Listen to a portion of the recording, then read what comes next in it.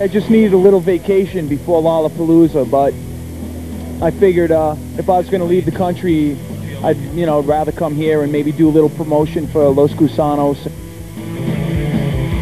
That's plenty. plenty. This is going to be my first bike trip uh, while I'm on tour. Ramones was supposed to be tired, retired in um in February or March or something like that. So I had planned a bike trip with a couple of friends, and um, we had all given up our apartments. My friends had given up their jobs, and we, uh, you know, we had the whole trip planned. So I couldn't tell them, well, I can't go. So I told the Ramones, I'll only do Lollapalooza if I do it on my motorcycle.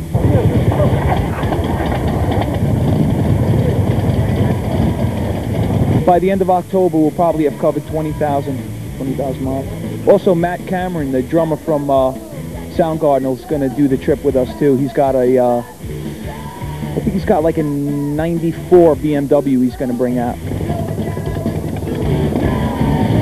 There are no other bikes. There are only Harleys. Everything else is a toy. Harleys are the only bike that you can really um, customize.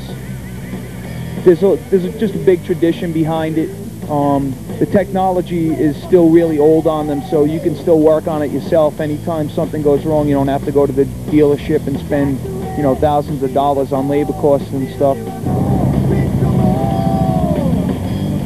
I don't know. To me, really, I wouldn't really own another bike unless it was an Enduro. I like Enduros too, just because they're a lot easier on the streets and stuff if you live in a city. But you know, I don't live in a city, so I that's why I ride a Harley. The streets here are fucking terrible.